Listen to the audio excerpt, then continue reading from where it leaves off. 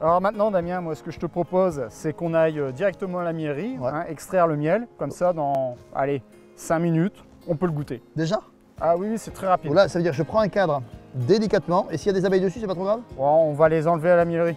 Ok, ok. Donc là, je pars comme ça, là. Oh ouais, vas-y. et, et franchement, c'est- c'est c'est pas flippant du tout. Hein. Ah, elles sont douces, hein. Puis c'est vraiment, c'est tellement beau la nature.